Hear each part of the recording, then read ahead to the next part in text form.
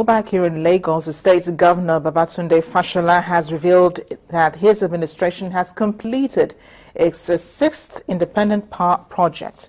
The governor said this at the opening of the Lagos Energy Academy, where he also explained that the IPP, when commissioned, will serve LASUTH, the High Court, the Lagos State Police Command, and all public institutions in the state. Concerning the Lagos Energy Academy, the governor says it will provide training for technicians in the state.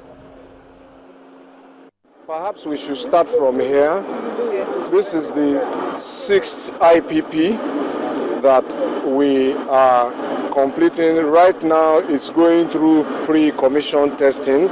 It's not finished yet, but when it's done, and hopefully it should be ready before the end of this month, it would now power LASUTH, power the High Court, power the Lagos State Police Command, and all of the public institutions around Ikeja.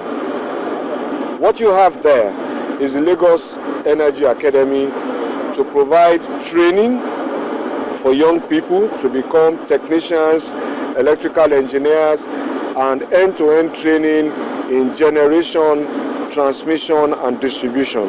Inside the academy, you've seen modules of what a substation that you see outside has been simulated in there. Transformers are in there, and all sorts of learning equipment and tools.